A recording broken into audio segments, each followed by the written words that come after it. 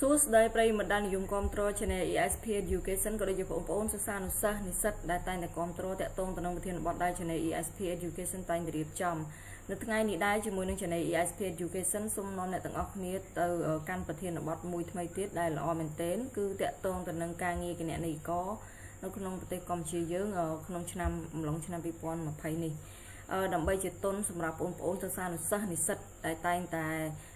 គ្រប់គ្រងទៅដល់ channel នេះខ្ញុំហើយជាពិសេសគឺបងប្អូនសិស្សានុសិស្សនិស្សិតដែលរៀនផ្នែកគណនេយ្យហិរញ្ញវត្ថុនិងធនាគារដើម្បីជាទុនក្នុងការរៀបចំគម្រោងការងារអនាគតឲ្យបានជោគជ័យអូខេអញ្ចឹង website ដែលខ្ញុំចង់បង្ហាញអ្នកនរគ្នាគឺ website មួយតាក់ទងទៅនឹង camhr.com ដែលអ្នកនរគ្នាគួរតែចូលទៅមើលណាអញ្ចឹងអ្នកនរគ្នាក៏ចូលទៅក្នុង browser website cam hr.com ណា c a m h r ណាហើយ dot មួយ com អូខេអញ្ចឹងអ្នកនរគ្នាឃើញ platform នេះហើយខ្ញុំចង់បង្ហាញអ្នកនរគ្នាតកតងទៅនឹងការងារអញ្ចឹងការងារមានច្រើនប្រភេទបើសិនមកអ្នកនរគ្នារៀនផ្នែកខាងអជីតិចខាងផ្នែកវិស្វករផ្នែកច្បាប់ក៏យើងអាចមើលបានដែរប៉ុន្តែនេះគឺជាផ្នែកការងារដែលគេជ្រើសរើសណា ដោយឡែកតកតងទៅនឹងការងារដែលទីផ្សារត្រូវការច្រើន គឺមានដូចជាផ្នែកគណនេយ្យ IT ឃើញថាមានតម្រូវការច្រើនណាអូខេអញ្ចឹងខ្ញុំចង់បង្ហាញនៅទីនេះគឺតកតងទៅនឹងផ្នែកគណនេយ្យអញ្ចឹងការងារគណនេយ្យគឺមានរហូតដល់273អញ្ចឹងអឺបច្ចុប្បន្ននេះយើងអាចចូលមើលការងារក្រោម ឬក៏យើងចង់មើលទៅក្នុងការងារគណនេយ្យទាំងអស់ដើម្បីមើលរ៉េងប្រាក់ខែឬក៏សម្រាប់បងប្អូនសិស្សានុសិស្សនិស្សិតដែលទើបតែរៀនចប់អាចទៅមើលវីដេអូមួយទៀតតាក់ទងទៅនឹងការស្វែងរកការងារដែលមានប្រាក់បៀវត្សខ្ពស់ណាដើម្បីជាទុនក្នុងការស្រាវជ្រាវអឺស្វែងរកការងារដែលសមនឹងសមត្ថភាពហើយនឹងទទួលបានប្រាក់បៀវត្សស័ក្តិសមនឹងសមត្ថភាពរបស់យើងដែរកុំឲ្យអឺទទួលបានប្រាក់បៀវត្សទាបណា អូខេនេះគឺតកតងទៅនឹងតំណែងការងារចឹងកន្លែងខ្លះគឺគាត់មានរែងប្រាក់ខែយើងយើងអាចមើលបានហើយប្រសិនបើយើងកន្លែងខ្លះអត់មានរែងប្រាក់ខែយើងអាចមើលការងារប្រហាក់ប្រហែលគ្នាហ្នឹងហើយយើងអាចទៀមទាប្រាក់ខែអឺក្រុមហ៊ុនដែលយើងចង់ធ្វើជាមួយណាចឹងនេះប្រាក់ខែអ្នកប្រមូលលុយគឺ200ទៅ250ហើយខាងលើនេះ senior accountant គឺ500ទៅ800ដុល្លារហើយ accountant ធម្មតានេះអត់មាន ស៊ីនៀតមានអីទេគឺចន្លោះពី300ទៅ400ដុល្លារហើយហើយចំណែកគណនេយ្យករមួយទៀតគឺដែលចេះភាសាចិនគឺគាត់អាចទទួលប្រាក់បៀវត្សរហូតដល់400ឡើងទៅ600ដុល្លារអញ្ចឹងនេះគឺជារែងប្រាក់ខែការងារប្រាក់ខែដែលយើងអាចមើលបានមានន័យថាយើងអាចយកទៅសិក្សាដើម្បីជាទុនសម្រាប់ចេញធ្វើការដំបូងណាអញ្ចឹងចន្លោះប្រាក់ខែនេះគឺល្មមអាចឲ្យយើងមើលបាន អញ្ចឹងគឺទៀមទាបទពិសោធន៍មួយឆ្នាំណាអញ្ចឹងបងប្អូនដែលរៀនចប់ត្រៀមណាយើងជាយើងស្វែងរកការស្ម័គ្រចិត្តធ្វើការដំបូងអីដើម្បីទន្សំបទពិសោធន៍ឲ្យបានមួយឆ្នាំណាអញ្ចឹងចន្លោះអាយុអូសញ្ញាបត្រគឺគេយកត្រឹម Bachelor មានន័យបញ្ញាបត្រចេះភាសាអង់គ្លេសអាយុ22ទៅ40អញ្ចឹងមានន័យ fresh graduate ក៏អាចដាក់បានគឺ22ឆ្នាំប៉ុន្តែលុះត្រាតែគាត់នឹងធ្លាប់មានបទពិសោធន៍ការងារម្លងពេលសិក្សា អញ្ចឹងការងារដែលគាត់កាន់អត់មានអីជាការលំបាកទេ គឺតាក់ទងទៅនឹងការងារប្រព័ន្ធកត់ត្រាបញ្ជីគណនេយ្យការគ្រប់គ្រង account payable account receivable តាក់ទងទៅនឹងការគ្រប់គ្រងទ្រព្យសកម្មនៅក្នុងអង្គភាពណាអឺទ្រព្យសកម្មទីថាតើនៅក្នុងក្រុមហ៊ុនមានកុំព្យូទ័រមានអីចឹងណាយើងត្រូវដឹងត្រូវដឹងទ្រព្យសម្បត្តិអចលនទ្រព្យគេហៅទ្រព្យសម្បត្តិរយៈពេលវែងរបស់យើងនៅក្នុងអង្គភាព ហើយនឹងការប្រកាសពន្ធប្រចាំខែដូចជាពន្ធវត្តណាពន្ធប្រាក់ខែជាដើមអឺ PT case control តកតងទៅនឹងការគ្រប់គ្រងចំណាយកប៉ិកប៉ុកនៅក្នុងអង្គភាពគេហៅថាមូលនិធិលំអិតណាហើយនឹងកិច្ចការផ្សេងផ្សេងទៀតតកតងទៅនឹងការងារគណនេយ្យអញ្ចឹងអត់មានអីជាការលំបាកទេណាសម្រាប់ការងារនេះគឺចន្លោះប្រាក់ខែពី200 អ្នករ៉េងគឺនៅក្នុងប្រព័ន្ធគឺចន្លោះ200ទៅ500ប៉ុន្តែក្រុមហ៊ុនដែលអាចឲ្យបានគឺចន្លោះពី200ទៅ500ដុល្លារនៅពេលដែលយើងមានបទពិសោធន៍មួយឆ្នាំអញ្ចឹងបងប្អូនដែលរៀនចប់ graduate ណាអឺត្រូវអឺដែលមានបទពិសោធន៍មួយឆ្នាំមានន័យថាទទួលបានបញ្ញាបត្រហើយយើងអាចដាក់ការងារប្រភេទនេះប៉ុន្តែប្រសិនបើយើងអត់មានបរិញ្ញាបត្រការងារអីទេប្រសិនបើយើងមានលក្ខខណ្ឌអញ្ចឹងមានន័យថាការងារ អឺគេមិនបខំឲ្យយើងមានមានគ្រប់លក្ខខណ្ឌទេជួនកាលយើងមិនបាច់អាយុ22ឆ្នាំក៏បានដែរណាព្រោះអីនេះគ្រាន់ជាការរែងនៅក្នុងប្រព័ន្ធអញ្ចឹងប្រសិនបើយើងមានបទពិសោធន៍ទីអ្នកខ្លះគាត់ធ្វើការតាំងពីឆ្នាំទី2ទី3អញ្ចឹងគាត់មានបទពិសោធន៍2ឆ្នាំប៉ុន្តែគាត់អត់ទាន់អាយុ22ឆ្នាំឬអត់ទាន់ចប់បញ្ញាបត្រប៉ុន្តែគាត់មានបទពិសោធន៍ការងារច្បាស់លាស់នៅក្នុងការងារគណនេយ្យអញ្ចឹងក៏ក្រុមហ៊ុនអាចទទួលយកបានដែរអឺ តកតងទៅនឹង job requirement នេះគឺជាចំណុចសំខាន់ដែលខ្ញុំចង់បង្ហាញនៅក្នុងប្រធានបទនេះគឺបងប្អូនត្រូវត្រៀមខ្លួនណាអ្វីខ្លះសម្រាប់ទទួលបានការងារទី1បងប្អូនត្រូវអឺរៀនចប់បញ្ញាបត្រទី2គឺមានចំណេះដឹងផ្នែកវិស័យកុំព្យូទ័រគឺមានន័យថា accounting computer computerized អាចជាកម្មវិធី QuickBooks P3 ហើយមានបទពិសោធន៍ផ្នែកគណនេយ្យ ចេះភាសាអង់គ្លេសមិនបាច់ដល់ excellent ត្រឹមតែ good ក៏បានដែរណាអញ្ចឹងយើងអាចទទួលបានប្រាក់បៀវត្សចន្លោះពី300ទៅ400ដុល្លារអានេះគឺជា website HR ដែលយើងអាចផ្ញើបានហើយអ្នកខ្លះគាត់សួរខ្ញុំជាពិសេសគឺសិស្សខ្ញុំតែម្ដងគាត់ថាផ្ញើតាមនឹងគាត់ខ្លាចគេអត់ហៅដោយសារអីគេយើងគេមិនទាន់ហៅយើងដោយសារទី1គឺយើងអត់ទាន់មានលក្ខខណ្ឌជួនកាលមានបេក្ខជនដែលមានលក្ខខណ្ឌច្រើនជាងយើងអញ្ចឹងគេខ្ជិលហៅយើងទៅសម្ភាសកុំឲ្យខាតពេលវេលាយើងណា អញ្ចឹង CV យើងជួនកាលគេទុក holding នៅខាងក្រោមនៅពេលដែលយើងមើលទៅគ្រប់លក្ខខណ្ឌនៅថ្ងៃណាមួយគេអាចជ្រើសរើសយើងហៅយើងទៅវិញឬក៏យើងត្រូវដាក់ម្ដងទៀតដាក់ការងារម្ដងទៀតក៏បានដែរណាយើងព្យាយាមដាក់ទៅណាសម្រាប់សិស្សដែលគេហៅថា fresh graduate អត់មានបទពិសោធន៍វាពិបាកក្នុងការ apply បន្តិចអញ្ចឹងអានេះខ្ញុំចង់ប្រាប់តកតងទៅនឹងការងារ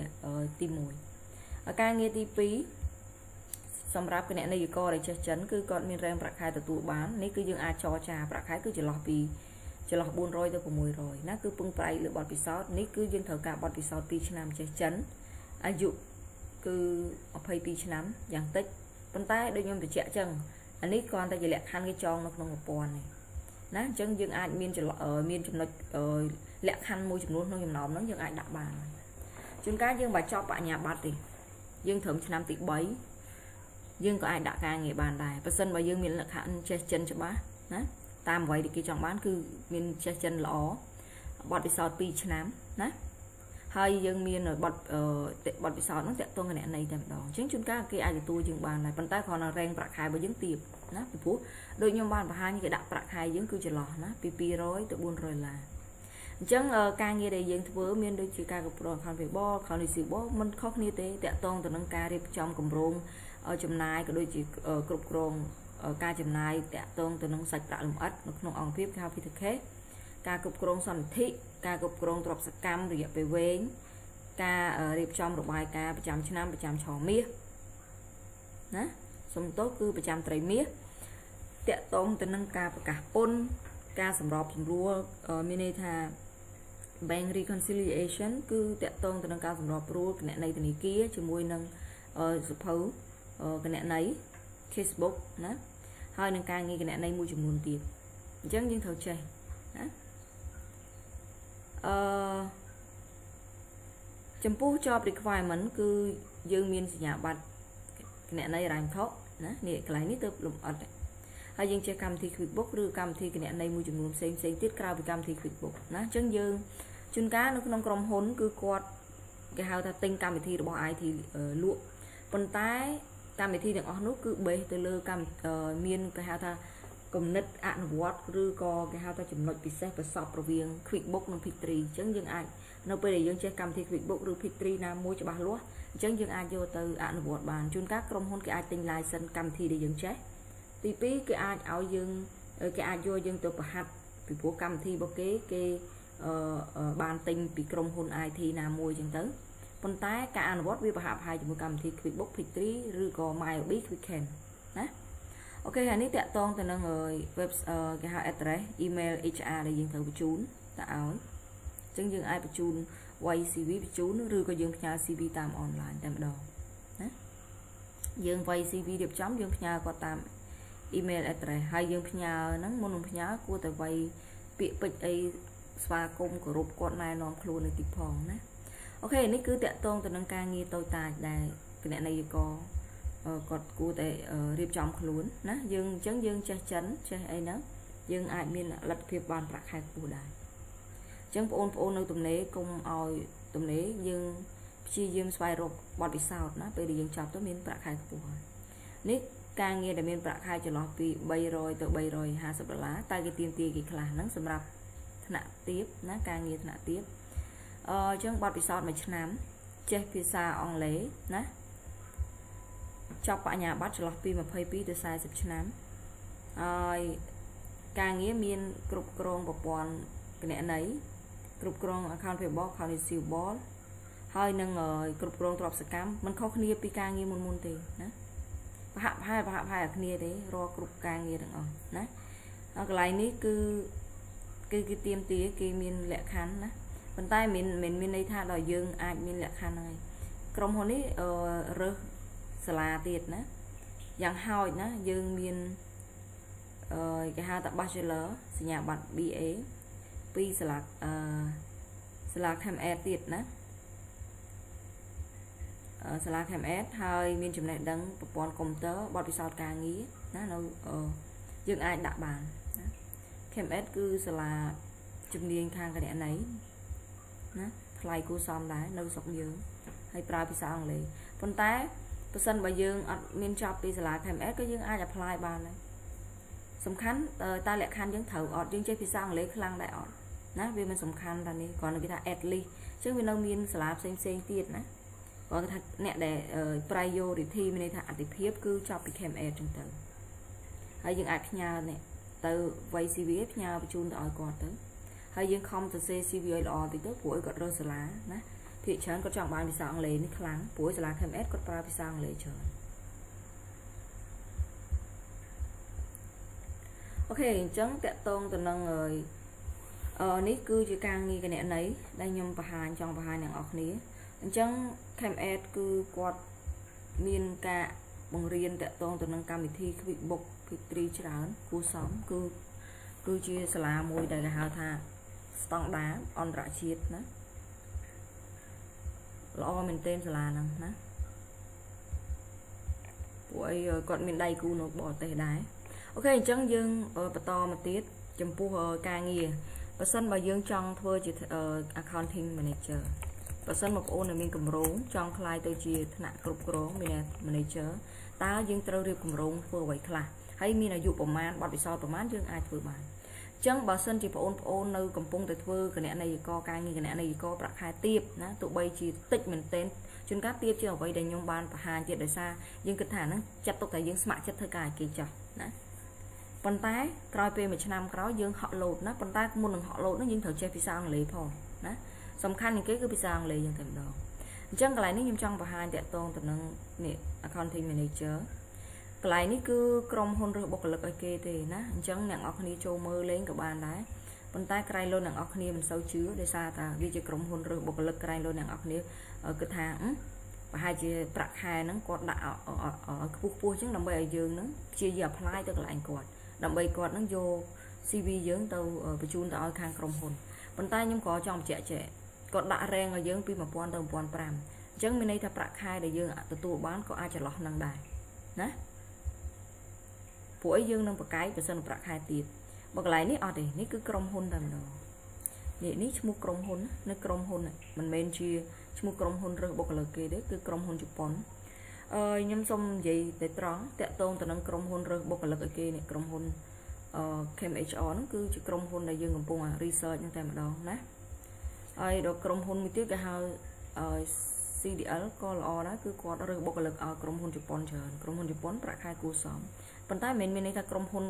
ដតីទៀតប្រាក់ខែទាបទេណាអូខេប៉ុន្តែគាត់ថាភាគច្រើនណាអូខេអញ្ចឹងនេះ accounting manager គឺប្រាក់ខែឡើងរហូតដល់1750ណាអញ្ចឹងនេះជាប្រភេទក្រុមហ៊ុននេះ Japanese consulting company យើងឯងណាគឺក្រុមហ៊ុនសល្អល្អទេអញ្ចឹងយើងទៅមើលក្រុមហ៊ុនណាដែលកន្លែងនេះរែងប្រាក់ខែច្រើននេះតែខ្ញុំប្រាប់ថា CDL HR ក៏ជាក្រុមហ៊ុនឬបុគ្គលិកគេហើយភាគច្រើនយកឲ្យទៅជប៉ុនក្រុមហ៊ុនជប៉ុនធនាគារជប៉ុនណាអឺ ហើយក្រុមហ៊ុនផ្សេងផ្សេងទៀតណាធនាគារក្នុងស្រុកធនាគារម៉ាឡេចិនសិង្ហបុរីអីក៏មានដែរក៏រើសអស់អស់នឹងប៉ុន្តែ ប្រាក់ខែគាត់បានឱកាសច្រើនណាអញ្ចឹងយើងអាចចុចមើលតើលក្ខខណ្ឌដែលយើងទទួលបាន អាចខ្លាយទៅជា accounting manager គឺអាចដែលអាចមានប្រាក់ខែ1500 3500ដូចផ្ដេចអញ្ចឹងយើងគួររៀបចំគោលដៅរបស់យើងមិននៅក្នុងពេលនេះអញ្ចឹងនៅក្នុង នេះគឺយើងត្រូវមានបទពិសោធន៍3ឆ្នាំយ៉ាងតិចណាឃើញទេអញ្ចឹងយើងធ្វើការ3ឆ្នាំយើងអាចឡើងធ្វើ manager អាយុដែលគេកំណត់គឺ29ឆ្នាំណាអញ្ចឹងយើងគេឲ្យយើងកំណត់29ឆ្នាំចេះភាសាចិនអង់គ្លេសឲ្យបានច្បាស់មែនទែន excellent ណាចេះអង់គ្លេសចិនច្បាស់ប្រាក់ខែខ្ពស់ណាអឺតកតងទៅនឹងការងារយើងបាញ់និយាយទៅគឺច្រើនណាគឺគាត់គ្រប់គ្រងទាំងអស់តែម្ដងប៉ុន្តែនេះ ខ្ញុំចង់ឲ្យយើងដឹងកន្លែងចោលពីខ្វល់មិនទៀមទាលក្ខខណ្ឌដើម្បីការងារណាអញ្ចឹងគឺដើម្បីធ្វើ manager យើងមានសញ្ញាបត្រត្រឹមតែបញ្ញាបត្រក៏បានតកតងគណនេយ្យរ៉ាញ់ធុឬក៏វិស័យផ្សេងផ្សេងប៉ុន្តែអ្វីដែលសំខាន់គឺគេចង់បានបទពិសោធន៍យើងតកតងទៅនឹងការគ្រប់គ្រងអចលនទ្រព្យក៏ដូចជាពាណិជ្ជកម្មតកតងទៅនឹងសេវាកម្មអឺអចលនអាគារការលក់អាគារអីហ្នឹងជាលក្ខណៈអឺ គេហៅថាលក់រាយណាត្រូវបានលើកទឹកចិត្តមានជំនាញតំណាក់តំណងគេហៅ soft skill ខ្ពស់ចេះកម្មវិធី Excel ហើយនឹងភាសាអង់គ្លេសបានល្អចំណេះដឹងតាក់ទងទៅនឹងការកត់ត្រាគណនេយ្យអចលនទ្រព្យណាហើយនឹងស្គាល់ពីប្រព័ន្ធ SAN system ណាត្រូវបាន SUN system ហ្នឹងគឺត្រូវបានលើកទឹកចិត្តមិនដឹងថាប្រព័ន្ធនេះដែរគឺប្រព័ន្ធដែលគេចងស្រាប់ណា អញ្ចឹងក្រុមហ៊ុនធំធំគេអត់ប្រើកម្មវិធីតូចតូចទេគេប្រើវិធីធំកម្មវិធីធំធំដែលចងឬក៏គេទិញ software ពីខាងពីអាអ្នក IT តែម្ដងដើម្បីគាត់រកឋិនគាត់មានចំណេះដឹងផ្នែកលេខឲ្យបានច្បាស់លាស់ណាអឺគាត់ផ្នែកលេខហ្នឹងគឺក្រៅពីគណិតវិទ្យាគាត់នៅចេះស្ថិតិណាចេះមេរៀនស្ថិតិមេរៀន corporate finance ក្នុងការវិភាគផ្សេងផ្សេងអញ្ចឹងទៅអឺមានជំនាញទំនាក់ទំនងវិភាគនិង រៀបចំបានខ្លាំងហើយចេះលើកទឹកចិត្តណាមានការលើកទឹកចិត្តខ្លួនឯងបានខ្ពស់នៅក្នុងគម្រោងថ្មីថ្មីមានគាត់មាន commitment ខ្ពស់ challenge ខ្ពស់ហើយបើសិនបើគាត់មានសញ្ញាបត្រ CAT ឬ ACCA គឺអតិភិបក៏ខ្ពស់ដែរចំណេះដឹងកុំព្យូទ័រគឺគាត់ត្រូវការចេះ Word Excel ឲ្យបានខ្លាំងណាចេះ Survey កម្រិត Advanced អឺមានជំនាញគេហៅថាជំនាញ លេខឲ្យបានច្រើនហើយនឹងគាត់ហ្នឹងអឺល្អិតល្អន់ទៅនឹងការងារហើយអាចធ្វើការនៅក្រោមសម្ពាធធំធំបានចឹងនេះសុទ្ធតែជាចំណុចដែលយើងត្រូវតែយកចិត្តទុកដាក់បើសិនបើអ្នកទាំងអស់គ្នាចង់ជោគជ័យសមត្ថភាពគិតលេខសមត្ថភាពអឺ ធ្វើការមានមានការប្រុងប្រយ័ត្នខ្ពស់ទទួលខុសត្រូវខ្ពស់ណាគឺជាចំណុចចាប់ផ្ដើមនៃការធ្វើជាថ្នាក់ដឹកនាំហើយនឹងការជំរុញទឹកចិត្តបើសិនបើយើងគ្មាន self motivate ធីបទេសម្រាប់ខ្លួនឯងយើងមិនអាចជំរុញទឹកចិត្តកូនចៅយើងឲ្យធ្វើការបានល្អទេណាអញ្ចឹងនេះសុទ្ធតែជាជំនាញដែលយើងត្រូវទទួលបាននៅពេលដែលយើងធ្វើការហើយយើងត្រូវអត់ធ្មត់ទទួល នេះការងារ content manager មួយទៀតណាតកតងទៅនឹងរឿងប្រាក់ខែដែលមានពី750រហូតដល់1500ដុល្លារនេះទៀមទាបទពិសោធន៍រហូតដល់5ឆ្នាំប៉ុន្តែយើងអាច apply ត្រឹមអាយុ25 45ឆ្នាំអញ្ចឹងអាយុត្រឹមតែ25ឆ្នាំយើងអាចធ្វើ manager គេក៏បានដែរអញ្ចឹងបើមើលតាមរែងការកន្លែងក្រុមហ៊ុននេះគឺមានន័យថាបើសិនមកយើងចប់បញ្ញាបត្រគឺយើង22ឆ្នាំ រៀនចប់បុអអញ្ចឹងបើយើងចេញធ្វើការតែ3ឆ្នាំអញ្ចឹងមានន័យថាបើប្អូនប្អូនមានគេហៅថាមាន commitment មានឆន្ទៈធ្វើការតាំងពីនៅរៀនពី3ឆ្នាំបន្ថែមមកឧទាហរណ៍ឆ្នាំទី2ចាប់ដើមធ្វើការអញ្ចឹងដល់ពេលគាត់រៀនចប់22បញ្ញាបត្រគាត់បានអញ្ចឹងគាត់មានបទពិសោធន៍3ឆ្នាំណាចូលឆ្នាំទី2ធ្វើការរហូតដល់ពេលគាត់ធ្វើការបាន2ឆ្នាំទៀតអញ្ចឹងគាត់ឡើង24 24អញ្ចឹងនៅពេលដែលគាត់ មានលក្ខខណ្ឌ5ឆ្នាំបាច់ដល់អាយុ25ក៏អាច apply បានដែរសម្រាប់ accounting manager អ្នកខ្លះគាត់ខ្លាយទៅជា account ថ្នាក់គ្រប់គ្រងគេវ័យក្មេងណាតែអ្វីដែលសំខាន់គាត់ត្រូវចេះភាសាអង់គ្លេសណានេះនេះអង់គ្លេសឲ្យខ្លាំងប្រសើរមែនទេណាភាសាអង់គ្លេសបើយើងចង់ថ្នាក់ធ្វើថ្នាក់គ្រប់គ្រងយើងត្រូវចេះអង់គ្លេសឲ្យខ្លាំងហើយច្បាស់លាស់ព្រោះយើងត្រូវការធ្វើការតំណាក់តំណងមួយថ្នាក់លើគ្រប់គ្រងហើយវាច្រើនស្រុកយើងគឺថ្នាក់គ្រប់គ្រងជនជាតិបរទេសណាដែល គាត់អាចមានលទ្ធភាពផ្ដល់ប្រាក់ខែក្រុមហ៊ុនបរទេសដែលមានលទ្ធភាពផ្ដល់ប្រាក់ខែខ្ពស់ៗឲ្យយើងអានេះគឺ job requirement គឺយើងបាច់មានសញ្ញាបត្រខ្ពស់ត្រឹម bachelor ណាតើតោសញ្ញាបត្របញ្ញាបត្រក៏បានដែរចំណេះដឹងតកតងនឹងដំណើរការកត់ត្រាគណនេយ្យច្បាស់បទពិសោធន៍5ឆ្នាំទៅលើការងារគណនេយ្យអឺគេហៅថាមានការទទួលខុសត្រូវច្បាស់លាស់ការងារអឺ ស្គាល់ច្បាស់ពីរបាយការណ៍ហិរញ្ញវត្ថុណាជាពិសេស GAAP និង IFRS ណាតកតងទៅ International Financial Report Standard ឬក៏ General Accepted Accounting Principle មានបទពិសោធន៍ជាមួយប្រព័ន្ធ SAP ប៉ុន្តែបើសិនអានឹងគ្រាន់តែ priority បើសិនយើងអត់ទេយើងអាចចូលទៅធ្វើជាមួយគាត់ហើយគាត់ណែនាំបើសិនយើងមានបទពិសោធន៍គេចង់បានយើងណាណាអូន ហើយគេអាចបង្រៀនយើងប៉ុន្តែគ្រាន់តែដំបូងយើងអាចទទួលបានប្រាក់បៀវត្សតិចតែយើងអាចមិនតិចជាង1000ទេព្រោះចន្លោះប្រាក់ខែ1000ទៅ1500ហើយមានសមត្ថភាពទំនាក់ទំនងបានល្អទាំងភាសានិយាយនិងភាសាសរសេរជាភាសាអង់គ្លេសណាអាចចំណាយតកតងទៅនឹងការងារនេះធ្វើការនំពេញណាអឺ គេឲ្យយើង probation នេះគឺលក្ខខណ្ឌមួយចំនួនធ្វើការធ្វើការអឺច័ន្ទទៅសៅរ៍កន្លះថ្ងៃអូច័ន្ទរហូតដល់សៅរ៍អញ្ចឹងបើយើងថ្ងៃសៅរ៍កន្លះថ្ងៃទៀតណាថ្ងៃឈប់សម្រាកគឺថ្ងៃអាទិត្យហើយនឹងថ្ងៃ holiday អញ្ចឹងថ្ងៃសៅរ៍ក៏ធ្វើការកន្លះថ្ងៃហើយនេះគឺជា email address ដែលយើងផ្ញើដើម្បី apply ការងារហ្នឹងអញ្ចឹងសង្ឃឹមថាវីដេអូនេះដែលដែលខ្ញុំបង្ហាញនេះអាចផ្ដល់ជាបទពិសោធន៍ដល់បងប្អូនសម្រាប់ជាប្រយោជន៍ក្នុងការរៀបចំគោលដៅខ្លួនឯងណាថាយើងត្រូវចេះអីខ្លះណាហើយយើងត្រូវត្រៀមខ្លួនអីខ្លះអញ្ចឹងជាមូលដ្ឋានរួមបើសិនម្នាក់អស់គ្នាចង់ជោគជ័យក្នុងការងារ យើងគួរតែចេះកម្មវិធីគណនេយ្យបានច្បាស់លាស់ណាបើសិនបើយើងនៅក្នុងក្រុមហ៊ុនតូចយើងអាចចេះអើយតូចឬមធ្យមយើងអាចចេះកម្មវិធី QuickBooks ឬ P3 MyOB ឬ Quicken អញ្ចឹងទៅប៉ុន្តែចេះច្បាស់ហើយនៅពេលទន្ទឹមគ្នានោះដែរយើងត្រូវចេះកម្មវិធី Microsoft Word Excel ណាឲ្យចេះដល់កម្រិត advanced ទៅដើម្បីរៀបចំរបាយការណ៍បានល្អនៅពេលដែលយើងចេះកម្មវិធីកុំព្យូទ័រក៏ដូចជាចំណេះដឹងគណនេយ្យច្បាស់លាស់ អញ្ចឹងការងាររបស់យើងនៅពេលដែលយើងមានបទពិសោធន៍លក្ខខណ្ឌណាមមួយចំនួនសមស្រប với ការងារយើងអាច apply ការងារបានហើយភាសាអង់គ្លេសទៀតសោតក៏ត្រូវតែចេះឲ្យច្បាស់ដែរបើសិនបើយើងអត់ចេះចិនយើងត្រូវចេះអង់គ្លេសឲ្យខ្លាំងណាបើសិនបើយើងចេះអង់គ្លេសខ្លាំងយើងអាចទទួលបានការងារល្អហើយអញ្ចឹងនៅក្នុងវីដេអូនេះខ្ញុំសូមបញ្ចប់ដំណឹងណាហើយអ្វីដែលខ្ញុំចង់ប្រាប់គឺ complete website នេះគឺយើងអាចទទួលបានការងារដែលមាន rank ប្រាក់ខែនៅជាមួយបានយ៉ាងល្អ ហើយសូមអរគុណចំពោះការយកចិត្តទុកដាក់ស្ដាប់តាំងពីដើមដល់ចប់កុំភ្លេចជួយចុច Subscribe ឬជាបណ្ដឹង Channel ESP Education នាងខ្ញុំផងអរគុណចឹងជួបគ្នានៅប្រធានបទក្រោយ